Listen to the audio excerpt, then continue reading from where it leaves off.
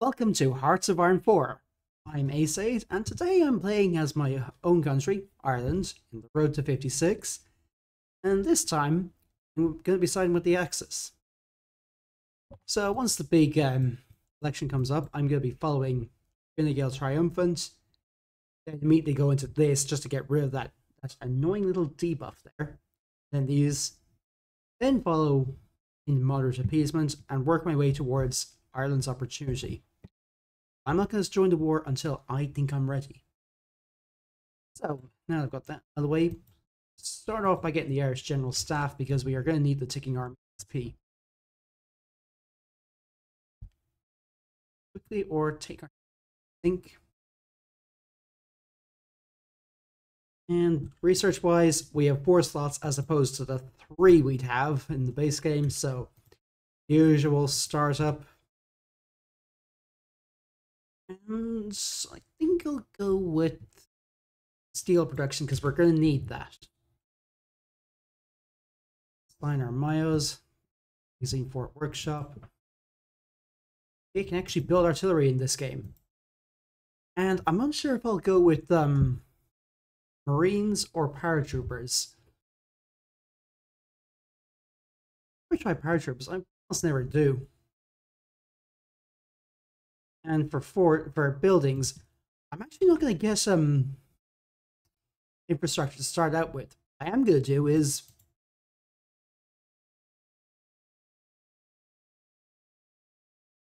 build up these because they're very quick and I know the Brits are going to try naval invading at some point if we do this. Assign this guy to here. But Michael Costello, because the extra attack and defense on core territory is to be very helpful. And, yep, get into it. So one thing that the um, model allows us to do is form the Celtic Republic. I did a playthrough a couple of weeks ago where I started as that. Let's see if we can actually try forming it. So for that, I do need to join the Axis.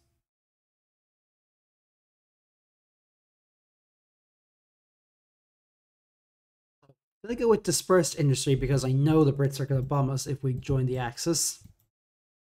Oh, when in this game. And I might as well sort out my miles here while I'm magazine for workshop. Soft attack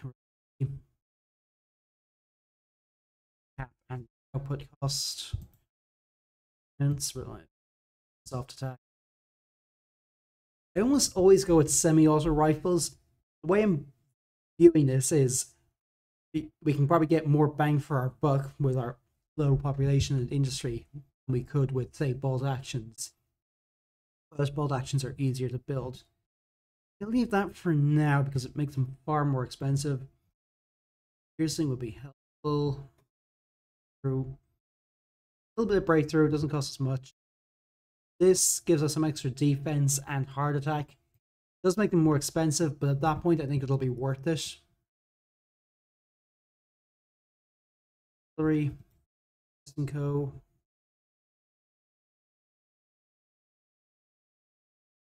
Yeah, to speed quicker when we actually do have those. Breakthrough. Let's see. Soft attack, hard. We'll need anti. Breakthrough. It does make our artillery a lot more, a bit more expensive. But we can get, get the efficiency up. And this basically offsets the cost. And I'll probably go with this for the extra hard breakthrough because artillery we're going to use a lot is the king of battle. Let's see, for Ford Cork. Again, I almost always go with reliability. Less reliable, but cheaper to produce. Let's see, yeah. Probably not going to end up getting mechanized, but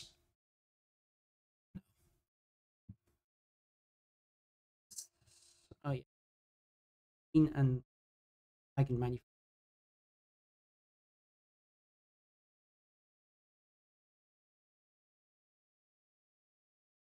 rush down here to try and make the um, support equipment cheaper.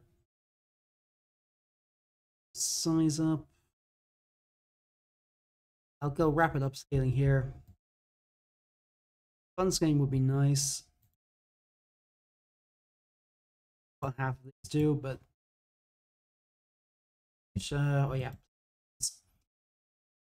Basically, I'm only gonna bother going with fighters for this. Just isn't gonna be worth us doing anything else.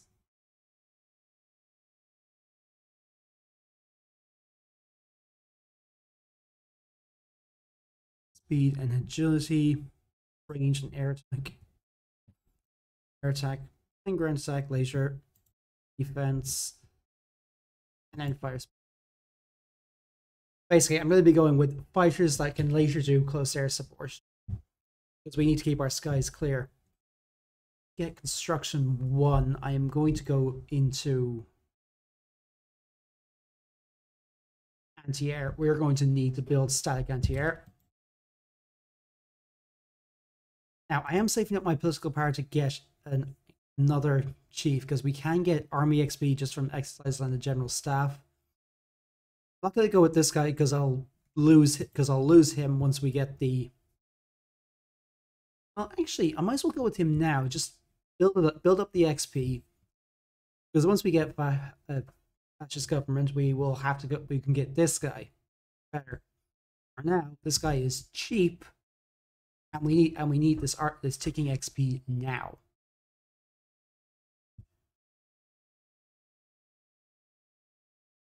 are redesigning a few things. So this is going to be my, I call it the home guard. Quite afford this yes.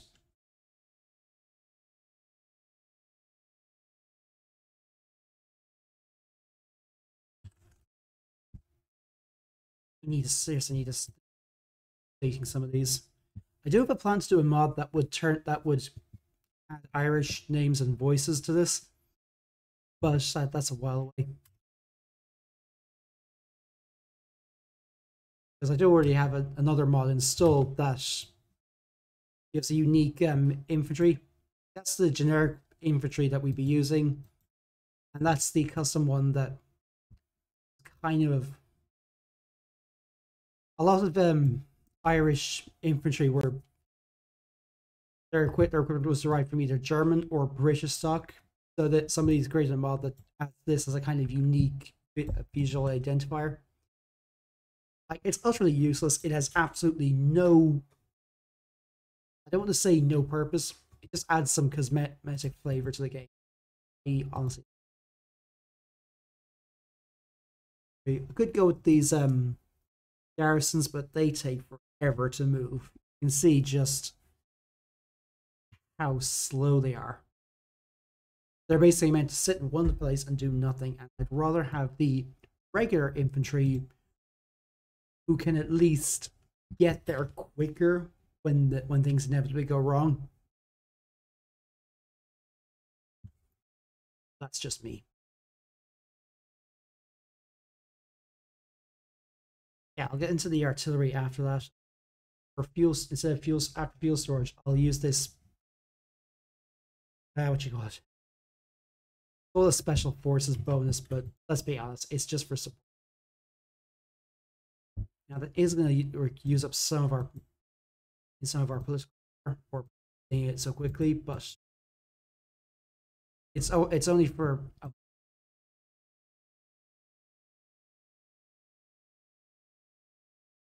I've just noticed that the next election is in January 37. Well, it was July 37. Well, maybe some maybe something changed and the mod was updated yesterday and that corrupted my previous save game, so I'm kind of stuck. Oh, let's see. Recon cavalry recon. Let's see now. Equipment, we are going to need this. Main reason I'm getting actually bothered with with the recon is we already have sniper teams researched. You can see it buffs um, some soft attack, buff the soft attack that are of our, our detachments and companies. But it means that all of our um, infantry, motorized, mechanized, specialized uh, special forces, they'll get some extra soft attack or hard attack. Like it's such a simple thing. I don't know why that isn't in the base game. The reason I'm going down this path first rather than these is I need to have some have the Germans or somebody approving of us and might as well just wait until I'm actually the until I actually have government here just to I can benefit from this and this. Me it just doesn't really make sense to go that close the to the uh, to the Yanks and then turn on them. And I probably need to get these factories anyway. Early I'm going to go straight into instruction 2 because I'm going to need that.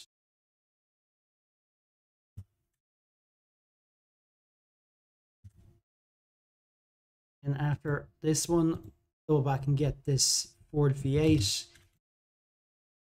I don't lose a lot of time by doing this, but might as well do it anyway.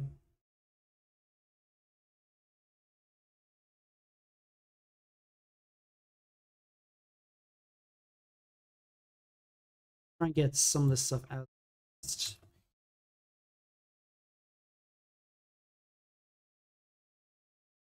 Yeah, the trade war we have is really screwing around with our construction speed, so scale these back a little bit for now.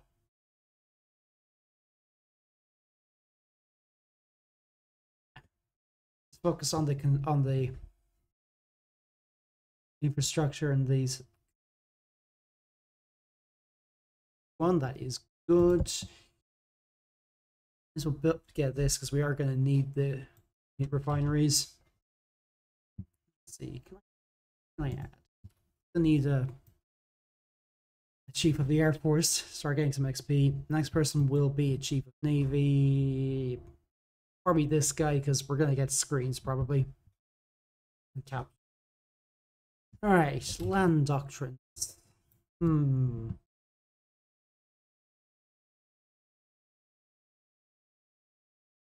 I'd say it's going to be a toss up between superior firepower and grand battle. I almost always go with this because our manpower is precious, but bullets are cheap. True words have true words have never been spoken. No, this might not bad. Assumption wouldn't be bad, and we'll probably be using cavalry recon a lot. Does buffs the self-stack even further.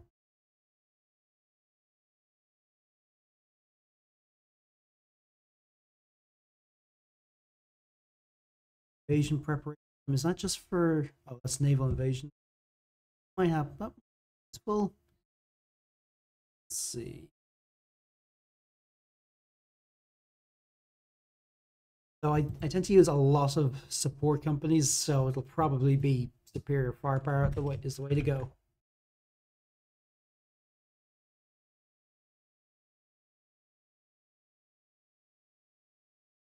Probably won't have researched construction 2 by the time I've got this complete, so may as well just go for expand military capacity and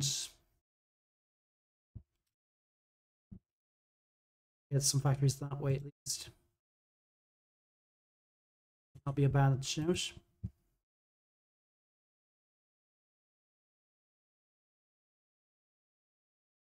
Guns. Alright, finally get a spy agency. Calling it Unethik Visser, which be roughly the Office of Inquiry. I don't know why, I'm just making this sum up as I go. And I'm going to be trying to rename as many things in ours as I can, just, just because I've actually spent some time trying to look this up and figure out what it would be. Does mean I'll need to manually do these again, but you know, manually need to rename things, but it is what it is. Well, now our first agent, Jack Brewer, has British nationality, so he can sneak into Britain much more easily. Probably need to get more of these guys. Factories, of course. Very quickly motorize the army because that is a one-off cost of 25 power to reduce our motorization cost by 5%. It's too good to pass up.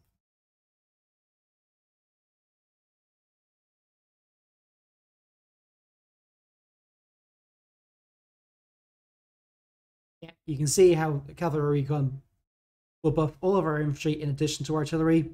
Artillery is already provided by the base game, but Road to 56 means we can buff our infantry that way by just providing some snipers. I, I don't know why that isn't in the base game. Yep, Spanish Civil War has happened again. This time the car, oh yeah, already did happen. Now the anarchists are messing things up.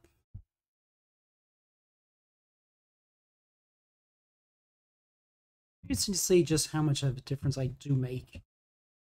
So the the, the election I'm waiting for probably won't happen until the end of July.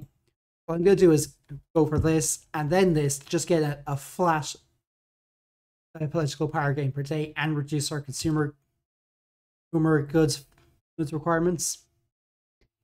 And then try and just spin my heels until until until this happens. See now. Now I could I if I was playing democratic, and I am at the moment, I'd go with this. But long term, I think this might be the best for us because it gives us some extra XP and reduces our land doctrine costs even further. A little bit much. Let's see now. Basically saving my political power to get this um elusive gentleman to try and buff up the spy agency a bit. Which I can really do without that.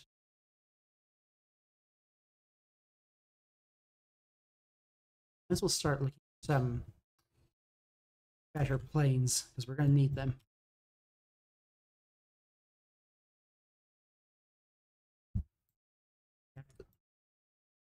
This will take 70 days, so probably two months. Main reason I want to have the time available is so I can immediately go into this to get rid of that, that annoying debuff and then get this to get a factory and dockyards, and this to get rid of some another debuff, so I can start building things better, quicker. You know what I mean?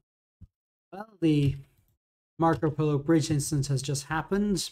For staying out of things. And it took a bit longer for that to pop up. Oh, well, right. That's why I fill out as many of these as I can get away with Maybe so I have this ready to go once at the factories. Oh, commander training would be helpful as well because they they're they can do better jobs at infiltrating things, seeing ciphers and that sort of thing. Well, here's our choice between Fianna Fáil and Fine Gael.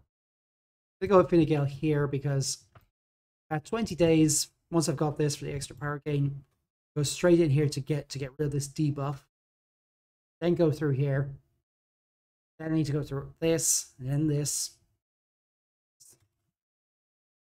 Right, for air doctrines, I'm just going to go with strategic destruction because we need to buff our fighters. We could also do that with the with operational integrity because we strategic bombing is not going to be much use to us. But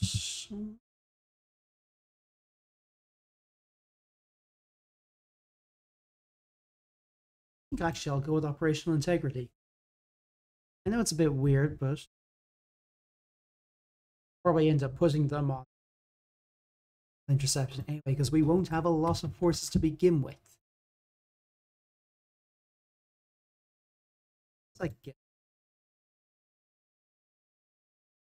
hmm. It's just material. Eh. Medium airframes, not gonna bother with those honest, I'm just to go with branch, branch independent spirit because 0.2 air XP per day, too good to pass up. Hmm. A strike wouldn't be. Yeah, I'd almost usually go always go with centralized control just because of us everything. Extra air superiority wouldn't be bad. That's a while away anyway. Get this so I can get as a prerequisite for first industry two. What was do now? Suppose research the basic sub. So we are finally gaining more than one political power per day. Part of that is because I got rid of a certain deep of that array debuff, but there is also the fact that we've got stable currency. So once I've got these, that'll give me a dockyard. So basically, the way these treaty ports work, as far as I can remember from the history, is that after the War of Independence and Civil War, Brits held on to some ports in, um, I think, definitely Cork, possibly Dublin. I really need to read. I'm Irish, but you think I'd know this better. Apparently not. Let's see. Cooperative? Excellent. So, yes, a seducer, I think. And start building up the net. In Wales, where we might get some from our fellow Celts.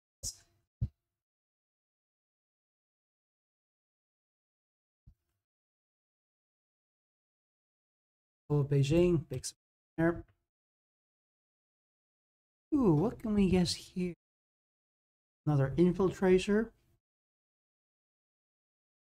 Seducer. Safecracker and Master Interrogator. On board, Jack Fitzgerald. Here in London, try and build this area a little bit quicker.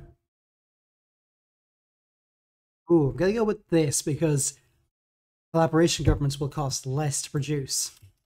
We're gonna need that. Of course, now I've got uh, the factories to actually build that. What it is. Right.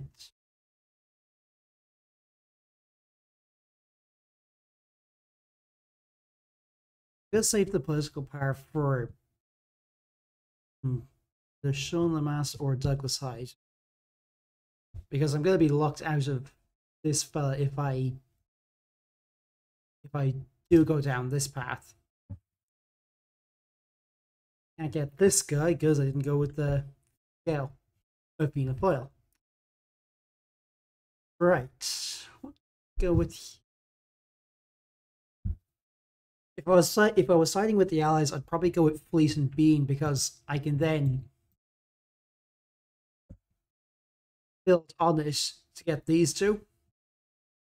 But I can't, so there's no much not much means trade interdiction it is. So yeah, need to build a name down work now. Just enough to refuel my ships and stuff. Well, just got this.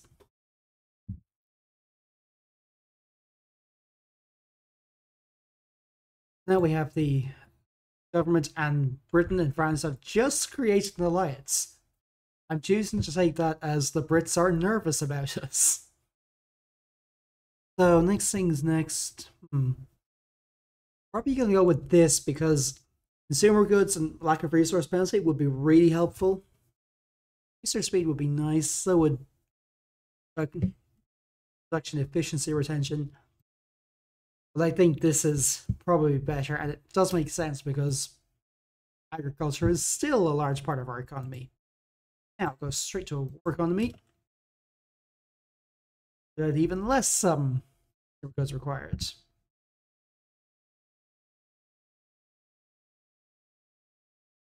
And once I've got that, I'm going to go into protectionism.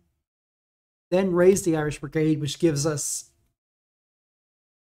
What was it? Gives us an, a mountaineer unit. And then this to gain some extra factories. We're, we're cozying up to the Germans a little bit now.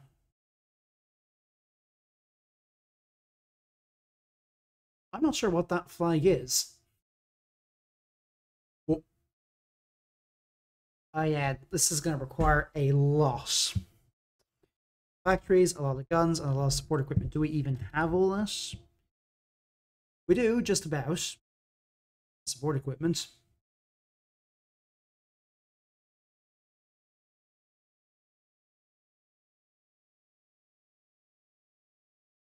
Three thousand. Oh, that's going to be cool.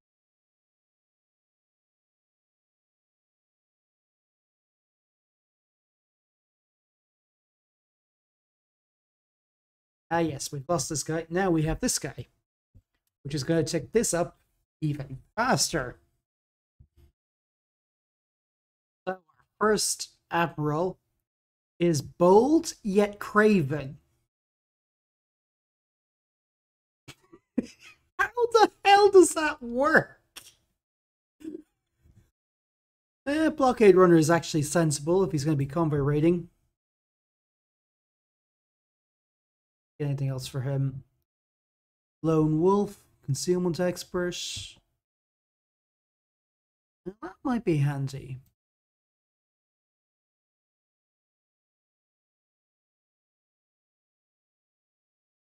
Oh, need to get him up to level 4 anyway. I think I'm going to leave it there. Because, um, let's we've got started on things basically see how this go how this goes. I don't know how or if I'll be able to land on the UK. Unless if I build up a few uh, collaboration governments and then take Belfast, I'll probably hmm, Belfast and Douglas. Anyway, I'll, we'll see how this goes in the next episode. See you in the next one. Bye for now.